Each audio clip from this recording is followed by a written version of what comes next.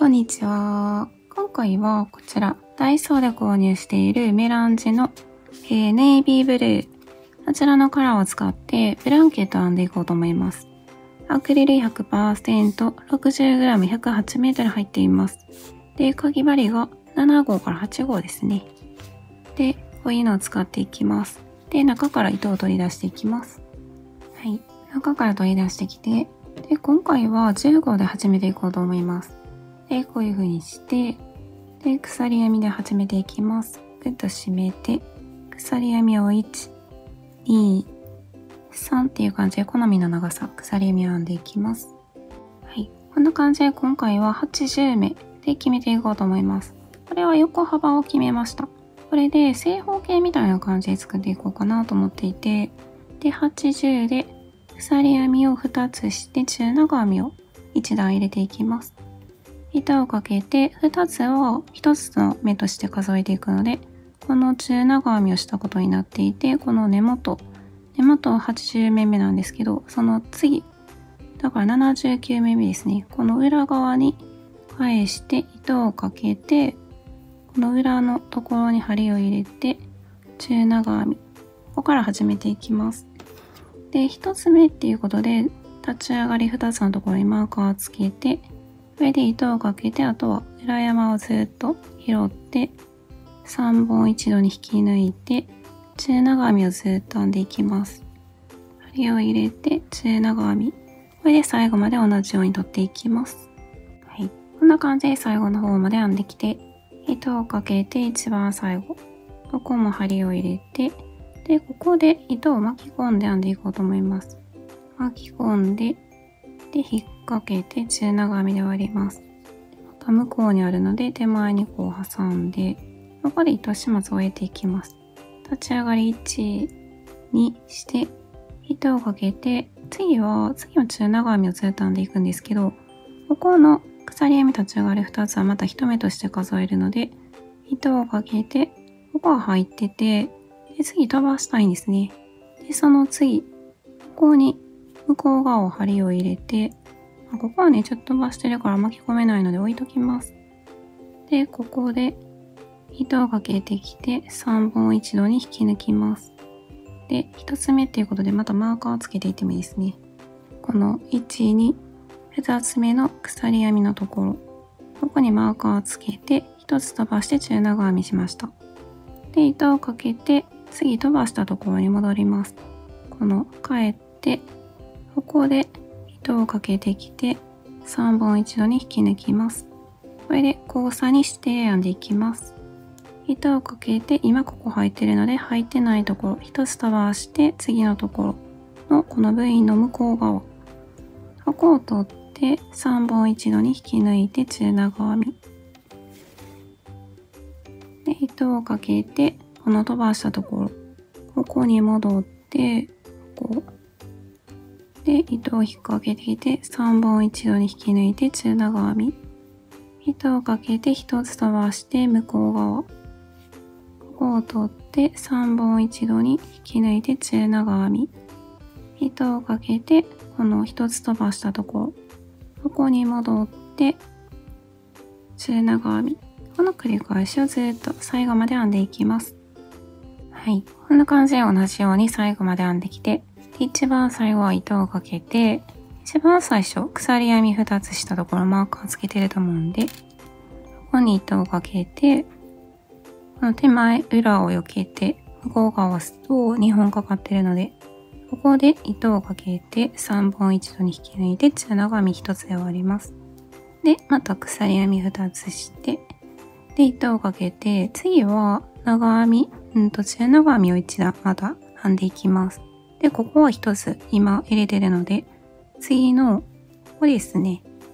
この上を見ていくと、この一番最初のところも入ってるので、その次、ここから糸をかけて3本一度に引き抜きます。で、鎖編み2つ目、ここにマーカーをつけてまた進めていきます。糸をかけて向こう半目を取って3本一度に引き抜き糸をかけて向こう半目取って3本一度に引き抜きそれでまた最後まで同じように編んでいきますこんな感じで最後の方まで中長編みを入れてきました。で、糸をかけて一番最後の長編みの頭に取って、中長編み。で、マーカーが入ってるところまでですね。ここを糸をかけて、手前裏を避けて、で、向こう側を押すと、こういう風に2本かかっているので、ここで糸をかけて、3本一度に引き抜いて、中長編み1つで終わります。で、また立ち上がりを2つして、次はまたこう、差の柄を編んでいこうかなと思います。で、糸をかけて、ここはもう入っているので、次飛ばして次、ここに向こう側を取って、中長編み。で、糸をかけて1つ飛ばしたところ、ここに帰ってきて、中長編み。で、交差してるんですけど、最初の鎖編み2つのところが1つとして数えていくので、ここでまたマーカーをつけて進めていきます。で、糸をかけて1つ飛ばして次のところ。ここに針を入れて中長編み。糸をかけて、ここの飛ばしたところを戻って、中長編み。これでずっとまた交差の段を編んで、次また長編み、うん、違うわ。中長編みの段編んでっていう感じで交互にずっと入れていこうかなと思います。で、あの、過去にも似たような感じでスヌード編んでるので、そちらもすごく可愛いので、見てみてください。では、これで交互にずっと編んでいこうと思います。はい。こんな感じでさっと大きく編んできました。で、言ってた通り、ほぼほぼ正方形っていう感じで終わってますね。で、4玉つなげて編み切りっていう感じで、もう一度編めるかなと思うんですけど、一番最後は最初、中長編み一段して始まったので、最後も合わせて中長編み一段で終わろうと思って、ここで止まってます。で、一番最後の中長編みしたところで、ここでプランってなるの鎖編みを一つしてぐっと止めて、で、糸をカットして、糸始末していこうと思います。スッと抜いて、で、針に糸を通して、ここ、裏、糸をつなげてきたところ全部同じ面にしてますね。まあ、両方見えるんで、両方綺麗には仕上げようとは思っているんですけど、こんな感じで、まあ、両方見えてもいいように、目をつぶさないように糸始末していきます。まあ、メランジは糸始末も全部しやすいですよね。読みやすいし、糸始末もしやすいし。こんな感じで、ちょっとね、ネイビーだから、ちょっと暗めな色なので、ちょっと見にくかったかもしれないですけど、こんな感じでちょっと仕上げてきました。これで、返し返しいつものように糸始末していきます。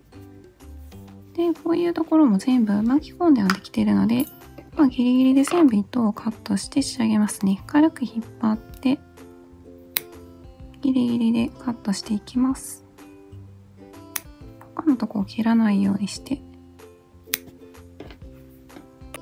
はい。こんな感じに糸始末を全部してきました。で、でちょっとサイズを測っときました。